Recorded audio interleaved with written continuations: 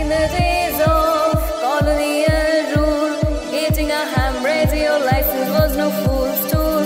But a man with the ovations to tall.